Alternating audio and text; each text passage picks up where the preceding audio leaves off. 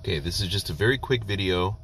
Um, you guys all probably know this, but I just figured this out myself. So the car is on, the handbrake is off. This will be relevant in a second. You can see I'm in the controls menu and the lights menu, daytime running lights. You see those little side lights on your fenders? So that's daytime running lights are on. If you turn off your daytime running lights, you still get the rings around the headlights, but your fender lights go off. Okay? Daytime running lights on. See that? Fender lights. You can see the reflection in the window. Here's something that I did not know. Right now, my handbrake is off. My foot's on the clutch. The car's running. I'm in neutral, but I could put it in first or whatever. If I put the handbrake on, did you see that? Daytime running lights go off. Handbrake off. Daytime running lights come on. Handbrake on. Daytime running lights go off. I think that was kind of weird. Okay. Anyway, that's it.